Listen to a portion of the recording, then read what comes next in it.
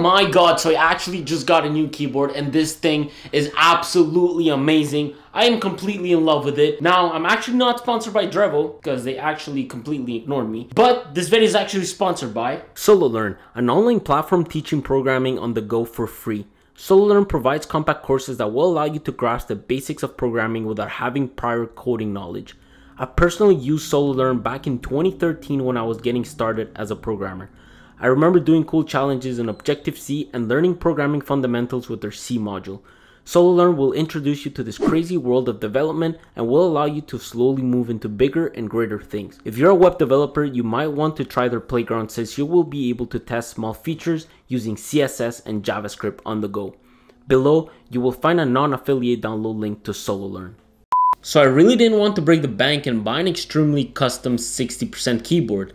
So two weeks ago, I decided to go on Amazon and I found a new version of the Calibur.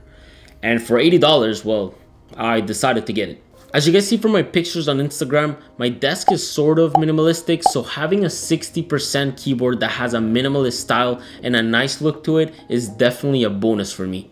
But what can you get with a $80 mechanical keyboard? First of all, the keyboard did come with a keycap remover, a USB-C to USB cable which is one of the new additions to the V2 and magnetic stands which is also a new addition to the V2. The keyboard layout and functionality has changed. The new V2 has new accent lights and a total of 17 RGB modes to choose from. This time around, Drevo decided to add a total of 5 Bluetooth connections with the possibility of choosing Mac or PC mode along them. From my own personal experience, things come very handy as my first mode is for my Mac, my second mode is for my PlayStation 4, and my third mode is actually for my iPhone. Pairing is actually a lot easier than before.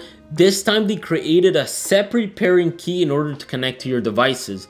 Last time guys, it was not ideal. Like the old Calibur, you're able to change the speed of the RGB as well as all the modes together straight from the keyboard. And my personal favorite, battery life. This thing has improved drastically in terms of battery life. I did own two V1 keyboards in the past and the battery was just absolutely terrible to the point that it wouldn't even last a day. This time around, I have been using the keyboard intensively. It's been three days. I've been coding on it. I've been playing Call of Duty. I've been even using it on my phone and the battery life is still going strong.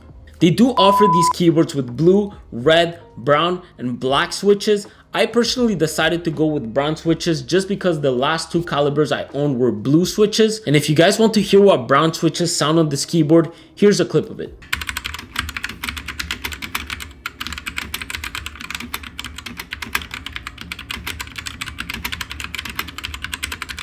The typing experience hasn't changed at all from the version 1. I've always enjoyed typing on these keyboards. The only issue I had in the past was definitely battery life. The next step for me is definitely to get some cool keycaps as well as some crafted ones for my WASD and my escape key. I don't even know if I'm supposed to say WASD or WASD.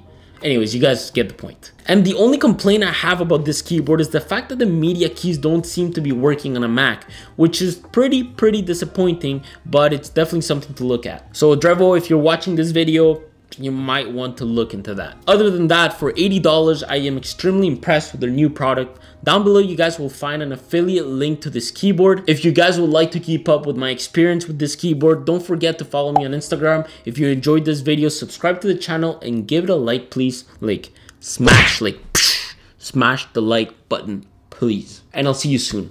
Probably in another month.